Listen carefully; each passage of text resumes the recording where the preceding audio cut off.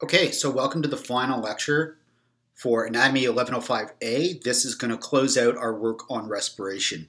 So upload date for this is going to be December 3rd, 2020. Uh, so today we're just finishing off again looking at respiration. In particular, we're going to focus on control over respiration. Uh, so just a few more learning objectives to cover here. So readings are indicated here with some important figures and also one of the web resources as well. So as usual, we're going to start off with a little bit of review. So last time we were talking about uh, how oxygen and carbon dioxide are transported in the blood. Oxygen, we saw that most of this oxygen is bound to hemoglobin, a little bit dissolved. You also have some dissolved uh, carbon dioxide. It's more than we, we have for oxygen. Uh, some carbon dioxide can interact with hemoglobin as well, um, but most of it is in its dissociated form as the bicarbonate ion. Now, uh, just as a review as well, we know that oxygen and carbon dioxide interact with different parts of this molecule here. So the oxygen is going to interact with iron-bound heme, and the carbon dioxide is interacting directly with the protein part, the amino acids of the heme tetramer. So a tetramer means four subunits. Uh, so we also talked about why so much carbon dioxide is converted to bicarbonate. And so as a matter of review, we saw that carbon dioxide can make its way into cells Carbonic anhydrase will combine it with water to form a carbonic acid. This can dissociate. When it dissociates, it makes the bicarbonate ion. Uh, we're going to shift this out of the cell and bring in chloride in what's called the chloride shift. And that's how we end up with so much bicarbonate that is, is stored within the, uh, within the blood plasma. Okay, and so the other end, of the lungs, this process is going to happen in reverse. And that's because this enzyme can work in both ways. And so that's a common feature of a lot of different enzymes. Uh, so one of the features uh, that we talked about a little bit last time is that uh, because you produce this bicarbonate ion uh, and uh, because you're producing hydrogen ions, uh, increases in CO2 result in a drop in pH. And so you're having more hydrogen ions being produced. Where's that coming from? It's coming from here. Okay, so bicarbonate ion, hydrogen ion. You're having more hydrogen ions being produced, and so you're going to have a drop in pH. Low pH means high number of hydrogen ions. Okay. Um, and so we also talked about how if you do rapid deep breathing, this can actually cause a decrease in CO2 in the blood. So this is getting more CO2 out of your system. This helps ventilation, and this can give a rise in pH. And so we talked then about how respiration and ventilation and the bicarbonate ion, all this is part of a pH control system for the blood. Okay. Um, I also mentioned before that uh, despite the fact that you're able to, to vary the pH, it's really only occurring in a very narrow range. Okay, so you're really working in this area here, which is a normal range. Under most circumstances, you're not going down to super low, which we would call acidosis, or super high, um, that we would call alkalosis, so too alkaline. But the point here is that carbon dioxide is an important regulatory factor in uh, regulating the pH of the blood. so now we're going to jump over to neural controls for respiration. And uh, this is going to ring some bells, I think, because uh, a lot of the concepts that we're going to talk about are similar to the concepts that we covered when we were talking about regulation of the heart and regulation of blood vessels. And so neural controls exist in this area we've talked about before, so the medulla and the pons. Um, and so uh, you have what are called these respiratory centers. So there's basically two different clusters of neurons. You have uh, the dorsal respiratory group, the ventral respiratory group, and then you have a, a group here in uh, called the pons. And so we'll focus on each of these in turn and learn what they do. And so again, uh, recall that the medulla is an active area of regulation. So this is also in the same area as these cardiovascular centers. And so you can imagine that, although we won't go into it in detail, you can imagine that there might be communication between these different areas. Uh, so the ventral respiratory group. The ventral respiratory group, uh, we're talking about, uh, uh well, there's only one shown in this diagram. Uh, there's two shown here, so this one would be the ventral respiratory group. Um, and so the ventral respiratory group, this is what is responsible for setting the, the pace of, uh, of ventilation. Um, so this is setting what we call eupnea. This is normal respiratory rate and rhythm, and this is going to be between 12 and 15 breaths per minute. So if you sit there and you, you time how many breaths you take in a single minute, it's probably going to be around that level. The basic idea here is that you have neurons which are going to be exciting the diaphragm and those intercostal muscles. We talked about that quite a bit. It's the contraction of these things that's going to expand the, the size of the lungs. When you expand the size of the lungs, you're going to have a, uh, an increase in volume and a decrease in pressure. When that occurs, you're going to get air that is flowing into the lungs, okay? And that's going to have your oxygen, and, and that's the kind of the, the basis for that ventilation. Uh, you also have um, uh, expiratory neur- neurons, so things uh, inhibit, so things that are regulating breathing out, and these are going to act in this ventral respiratory group to inhibit the ones that are dealing with this. Okay, so two different types of regulations at play here. So uh, the depth of the, the breath is determined by how actively the respiratory center is stimulating those respiratory muscles. Again, which respiratory muscles are we talking about? We're talking specifically about the diaphragm and under normal circumstances, the, the external intercostal muscles. Um, and so these are, are, are controlled by what we call the phrenic nerve and then also the intercostal nerves. Um, okay, and so this is how we have this, this regulation here. Um, and so if the depth is determined by, by um, kind of how often it is reg- regulated, uh, uh, the rate is of, of inspiration is determined by how long it's active. Okay, so it depends on both the, the duration and the frequency of signals coming from this ventral respiratory group. And again, we're talking about this one right here.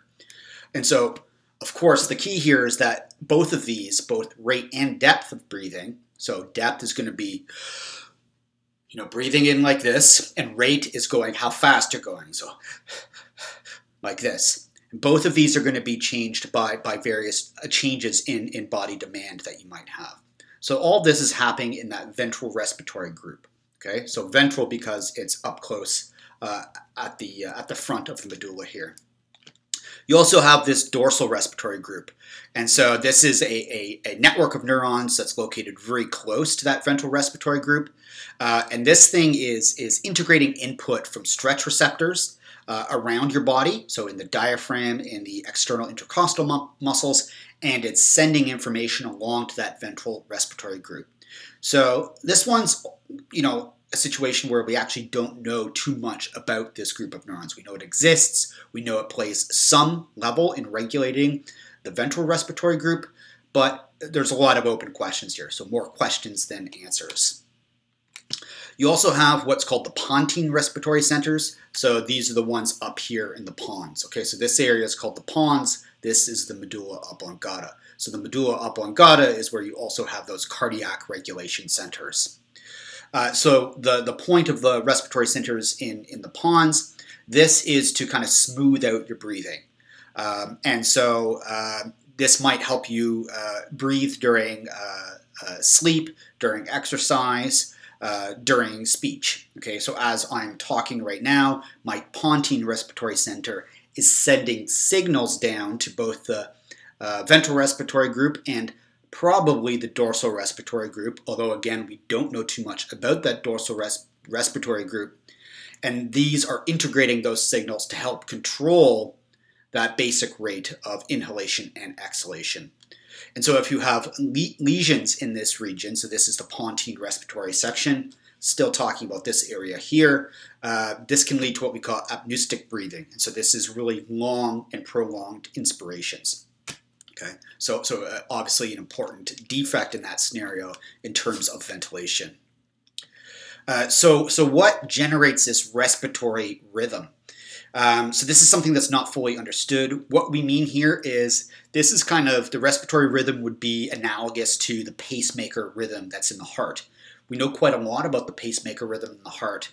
For the respiratory system, um, it's basically all conjecture.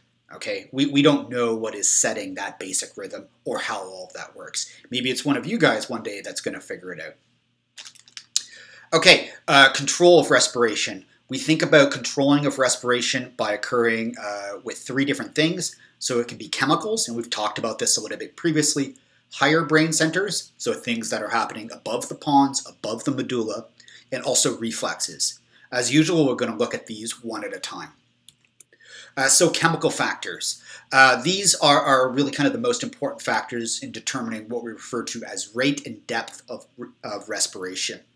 And so changing levels of uh, CO2, oxygen, and pH are the most important. And of those, carbon dioxide is probably the most important. And so the idea is that you have chemoreceptors. What is a chemoreceptor? This is something that is sensing chemicals. So you have different receptors throughout your body that are sensing carbon dioxide, oxygen, and pH. And so you have central chemoreceptors, central, central nervous system, located throughout the brainstem. Okay, so in these regions, you also have peripheral chemoreceptors. So these are in the aortic arch and the carotid arteries. So we've mentioned these structures before being involved in regulation of, uh, of heart rate and in uh, blood pressure regulation. And so you can see that a lot of the regulatory factors are concentrated in the same areas of the body.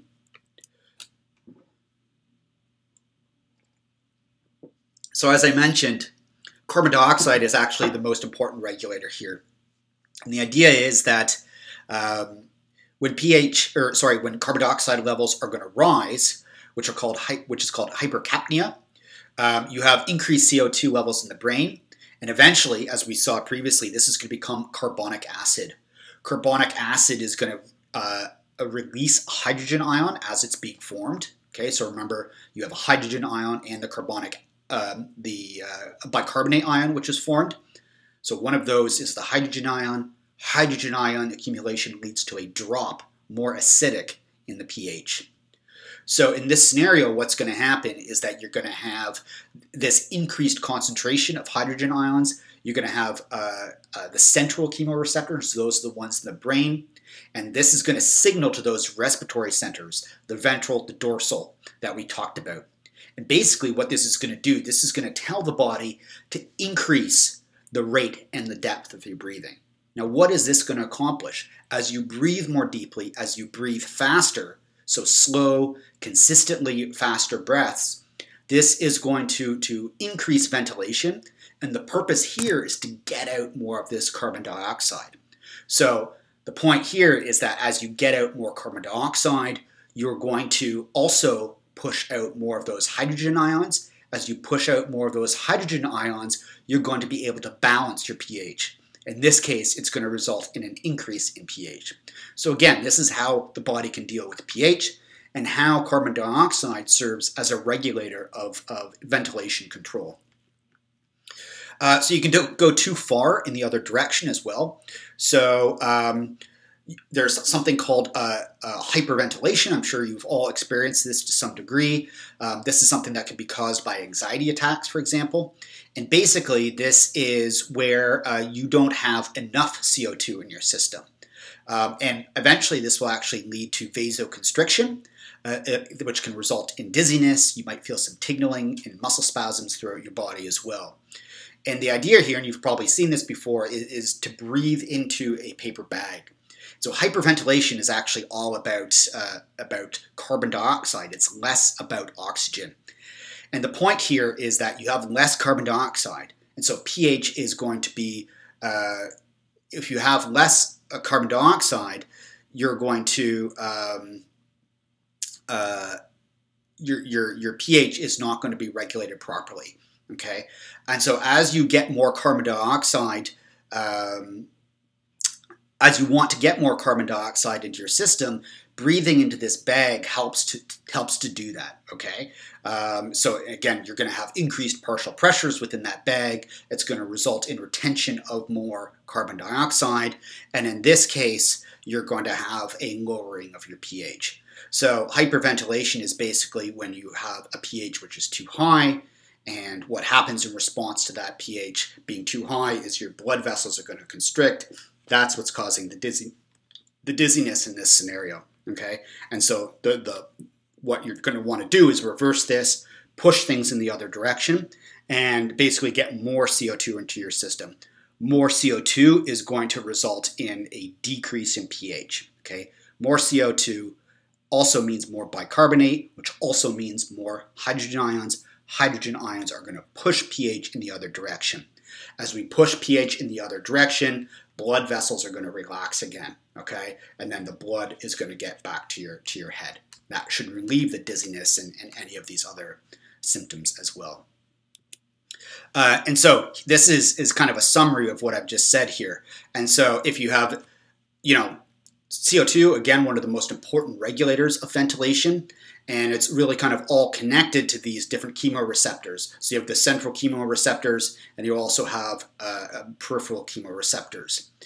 Uh, if you you have too much CO2 in your system, you're going to have a decreased pH. Decreased pH means too many hydrogen ions. So what do you want to do in that scenario? You want to get those hydrogen ions out of there. You get them out of there by getting rid of the carbon dioxide. So you get an increase in ventilation. And in this case, you'll have the, the partial pressure of carbon dioxide and your pH, which is being returned to normal. So that's uh, that's carbon dioxide. What about oxygen?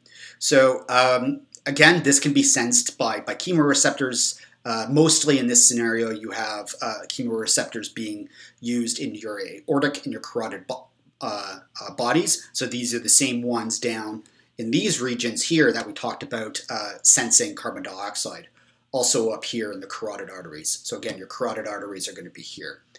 Um, and so, so you can sense changes in oxygen levels, but normally oxygen partial pressure has to change really, really dramatically to be affecting this signaling circuit. Okay, you need to drop below 60 millimeters mercury. And if you go back to these graphs where we have these kind of sigmoidal shapes, that's something that under normal cir circumstances you're really not going to have happening. Okay, and so so um, one of the reasons here is that normally you've got this huge reservoir of oxygen which is bound to hemoglobin, and we talked about this as being referred to as the venous reserve. Okay. Um, however, when uh, this system can be activated when you fall below this 60 millimeters mercury, uh, your chemoreceptors can be activated uh, they'll signal up to those uh, systems in the uh, dorsal and ventral respiratory groups to increase ventilation to get more oxygen. Again, normally this circuit is controlled by carbon dioxide. Oxygen is only coming into play when there's a very dramatic change in oxygen levels. Carbon dioxide, um, also pH, much more sensitive. Okay, so I said pH is, is much more sensitive. Uh, so pH can be uh, important and it can be sensed even if oxygen and carbon dioxide levels are normal. Uh, and so you might get, uh, you know, pH can be affected by carbon dioxide. However, you can also get an increase or decrease pH based on the levels of lactic acid or these things called ketone bodies, which you'll learn about in other courses. Um, and so again, the, the goal in kind of uh, controlling respiration in response to pH. It all works through carbon dioxide. Respiratory system is going to raise pH by increasing both the depth and the rate of respiration. Okay, and we talked about what those are at the beginning of the lecture. So, key points to remember here. CO2 levels, that's where all the action is. Okay, normally oxygen, not such a big deal only when it's falling below 60 millimeters mercury. You'd have to have such a big change in this scenario that, that you'd really be in trouble. Um, and so this is usually sensed via the peripheral chemoreceptors. We know that carbon dioxide is sensed by receptors, both those peripheral ones and also receptors in the brain. And then again, third point here, pH is really tied to, to getting rid of carbon dioxide. That's how you make changes in pH within your blood system. And we also saw that despite the fact that you can regulate your pH up or down, that that, that window of regulation is still very narrow. You can't have your pH fluctuating from pH of 4 to pH of 9, okay? That, that's incompatible with life. You're within a very, very narrow range usually.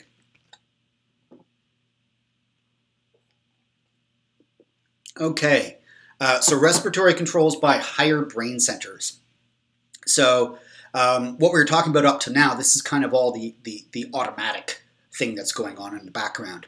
Uh, we also know that there's controls that, that we can have over our breathing. So, so I can control whether I want to take a breath or not. Okay, so this is background thing going on, but I can also have some control over this. Um, and this is a little bit different than the heart, for example. Uh, so, like the heart, though, there is these kind of hypothalamic controls as well. Um, and the basic idea is that um, sometimes, so the hy hypothalamic controls are originating in the hypothalamus hypothalamus will send signals down to those respiratory centers. So particularly down through the uh, um, the ventral and the dorsal respiratory groups. Um, and again, this can, can impact the rate and depth of respiration. Hypothalamic controls are not, that's not voluntary control. This might occur when you, you hold your breath if you gasp in, in anger or pain or something like this. It's not quite the background regulation we just finished talking about, but it's also uh, not something usually you have under, under your own control. That own control, as I call it, this is occurring from kind of these, these higher brain, range, brain regions here, and these are, are the uh, cortical controls.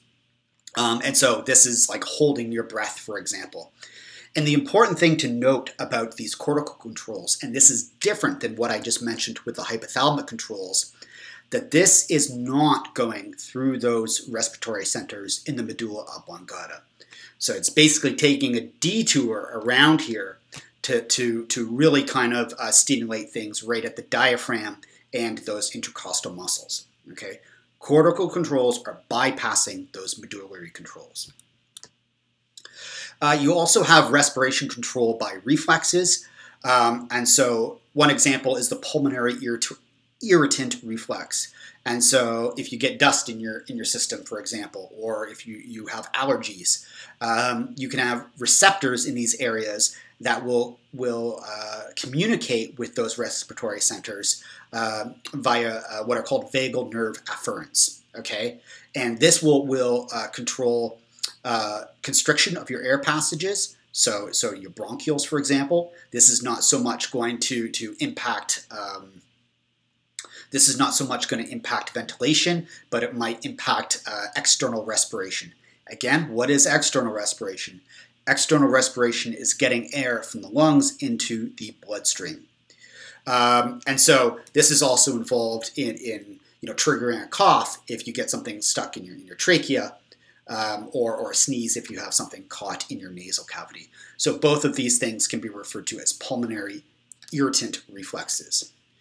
You also have what's called the inflation reflex, and this is also called the Hering-Breuer reflex. Um, and the basic idea is that you have stretch receptors. What do stretch receptors sense? Well, they sense stretch, specifically within the pleura. So this is this is the bag which is surrounding your lungs.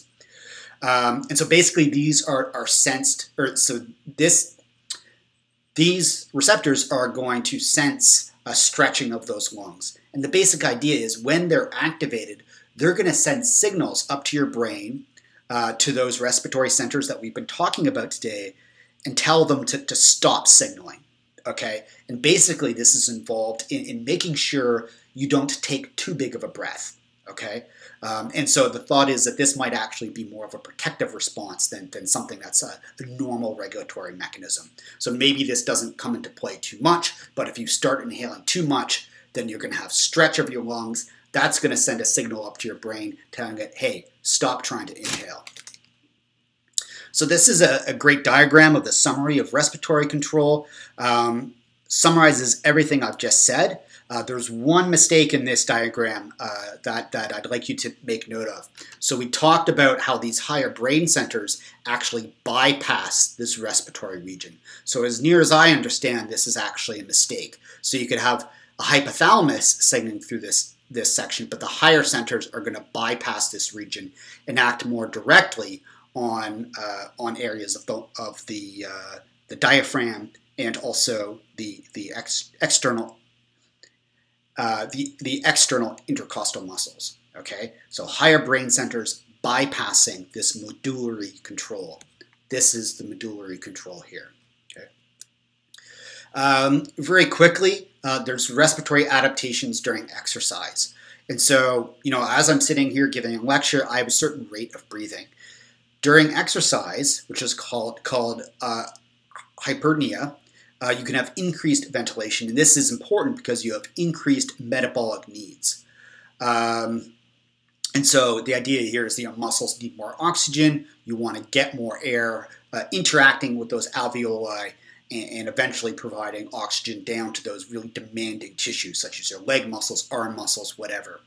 And in this case, case ventilation can increase 10 to 20 fold. Okay, so, so go back to these kind of diagrams that we saw talking about tidal volume versus the other volumes that, that we can talk about when we're inflating and, and deflating the lungs. So uh, what's interesting is that during exercise, you actually have a, a really increase, a re- really uh, abrupt increase in, in ventilation very early on.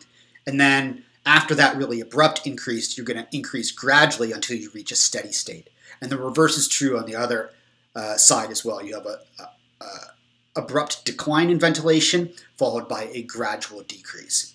And so, you know, intuitively, you might be familiar with this. If you're jogging um, and you suddenly stop, you know, you'll notice that your breathing rate goes down really, really quickly initially, and then it'll continue to go down at a slower rate until it gets back to normal. Okay. Um, despite this, you have carbon dioxide, oxygen, and pH are remaining surprisingly constant during exercise. And, and this is really because, first of all, you have regulation, um, and second of all, you have that oxygen is being used up by your muscles. Okay, so, so the, the steady state level in your system doesn't change despite the fact that you have more flux through the system. You're taking in more oxygen, using more oxygen, um, but uh, uh it's all coupled to the muscles. So within your bloodstream, the levels don't change that much. And that's important, okay? Because we know that those levels are important for ensuring control uh, of other things like uh, blood pressure, things like this. Um, during exercise, uh, because we have this very quick increase in, uh, in ventilation and a very decrease in ventilation when we stop exercising, it seems that people think that there's additional things that are going on in that scenario. Okay, so it's not all about the regulation that we've talked about previously. There might be psychological stimuli, such as the anticipation of exercise, that are important for starting to, to get this very abrupt increase. Um, there might be some link with your skeletal muscles as well. So as your skeletal muscles start to move, that really kicks those respiratory centers into high gear. And also as, uh, well, I guess that's what, what three just said here as well. As those things start to move in both your muscles, tendons, and also joints, you're going to be signaling up to those respiratory centers, probably to the, the VGR and the, uh, and the dorsal group, okay? Um, again, very little change in oxygen or CO2 levels within your system in general because this is coupled to the efficient use or release of those, oxygen versus carbon dioxide, in those active muscles during exercise. Okay, um, just so that is uh, all the uh, material that we needed to cover um, for the course. So, so you finished everything. The rest are just these review questions. So again, uh, go through the review questions, uh, make sure you understand the logic behind the answers, uh, and we can take some of these up within the office hours. Okay, um, and also remember that we have a review session that is coming up, um, and um, please let me know what you want me to cover on that review session. It's really important that I hear from you guys to get feedback on what you need more information about. Okay, um, as usual, um, there's uh, you know, you can also ask me questions at any time via email, and I'm happy to, to communicate with you about things that you might not understand. Okay. Um, so finally, uh, good luck on the exam. I'm, I'm, confident that you guys will do really well. I've really enjoyed interacting with you guys, and I'm looking forward to interacting with you in the final review sessions that we have. Again, if you have any questions, please let me know. Thank you.